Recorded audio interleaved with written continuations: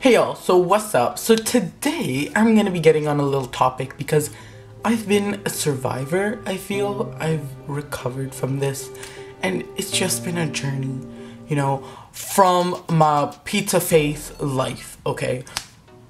So right now, I'm gonna be teaching y'all how to get rid of your pimples the actual way, the real way. Because what, at a certain point in my life, I was like you guys. I was on YouTube searching up ways to get rid of my pimples, to get them all gone, to see, to literally become a new person okay? This is not even a joke.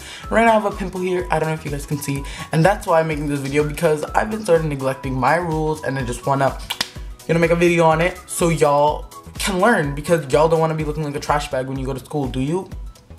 Back to school's coming, right? After going on after going on YouTube for a long time, like literally nothing works because all these beauty gurus, all these people have such nice, perfect skin, living such a good life. Drink water. It doesn't work, okay? For honestly, I'm not even lying. It's just because they've been blessed with good genetics, good skin. Like, Tracy, calm down. We're not all like you. So, so, so, so, what you want to do is, number one, don't touch your face. Like, I cannot stress this enough. Do not touch your face. Like, touching your face literally gets all the dirt, all the stuff. Like, you don't even know what's going on around you on your face, okay? Like, give me an example. I go to school, I go to biology class, and guess what? We have pig dissections there. Gross, but we still do. We have frog dissection. Although they clean everything up, they touch every single thing. People go in there and they don't know, they touch it and then they touch their face. Guess what you have? Pig guts on your face. Get over it. You don't know what's around you, so don't touch your face or all those germs will all go to your face, go inside, and that's what causes your pimples because your body is trying to stop those bacteria from spreading into your skin. So um, that's why you get like pus because that's literally red, white blood cells which actually fight off all the bacteria and that's what's causing a pimple. Number two, okay, this one is like, if you're not doing this, then I'm sorry, like why are you even watching this video? You have to wash your face, okay? You have to wash your face in the morning and you have to wash your face at night, okay? Um, the reason is because you know, people are just going crazy. Like, the reason is your pores are all getting clogged. Pores are like, you know, your hair where it's growing? That's where a pimple is because what happens is it gets clogged with all this dirt and just starts building, building, building until it becomes a big ball on your face and you look like you just got extra pepperoni on. So what you want to do is you want to keep washing, you want to keep doing all that, okay? Got it? So what I use for my face usually, right now at least, is um this one, it is, okay, wow, okay, well my camera is not going to focus, I'll just tell you what it is from here still not doing it. It's called um, Thursday Plantation uh, Tea Tree Face Wash Foam. So first of all, you don't need some fancy foam like this one. You don't need a, a next level um, face wash.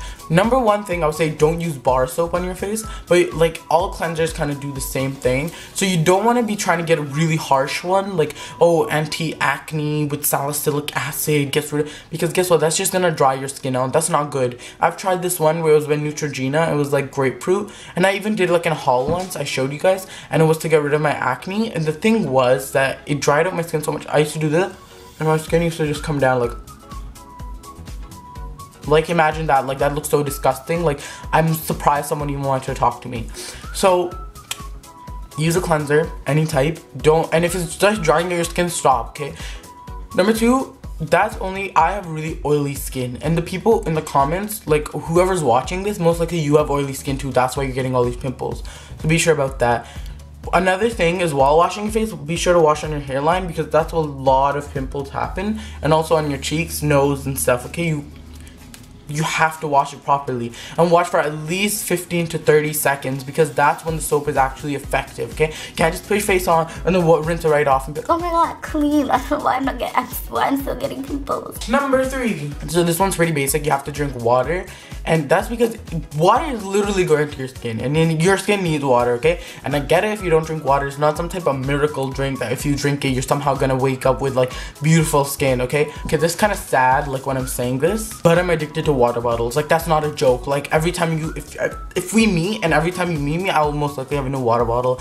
Like I've got so many water bottles. And the thing is, I usually forget them some places. So like both of my water bottles that I just got, I forgot them at like at these other places, which I have to go pick up. Keep a water bottle bottle right next to you drink it throughout the day. If you're bored be like okay i'll just drink some water okay? I get it if you're not like thirsty but still drink water because over time you're gonna start wanting more and more water. It's like sort of like you know when you give someone like candy like in school like when you give them when you're nice to them once and they constantly keep coming back to you and never stopping and you just want to beat them like to pulp but yeah, that's what you want to do to yourself now.